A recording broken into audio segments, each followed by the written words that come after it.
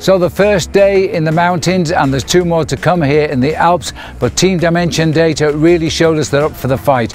Two men in the leading group that was out front for most of the race and at the end of the day, Serge Pauwels crossed the line in a fighting fifth place. That's a good omen for what's to come. These are the days, of course, when we won't be talking about Mark Cavendish. He's a sprinter. His turn will come a little later on. You know, back in 1998, uh, France was beating Brazil in the World Cup final 3 0. It was also the year the Tour de France made its only start from Ireland in Dublin.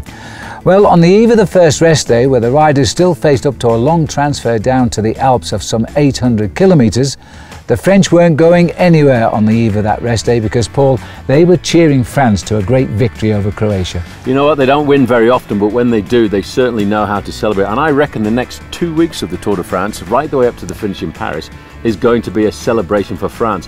I wonder if they're going to get the bleu, blanc, and rouge behind the professional cyclists. Well, why not? We're still awaiting a first French stage victory in the Tour de France, and they know that. But now they've dropped the concentration on the World Cup. You watch the crowd size and the viewership increase on the Tour de France this year.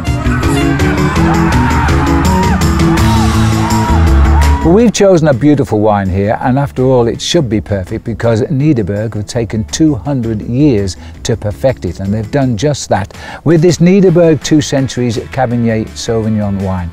It smells delicious, it is delicious, and Paul, why don't we toast the French on this occasion? Of course, I'd like to say Vive la France, and with a South African wine, why not Vive la différence? Cheers, and don't forget, drink responsibly.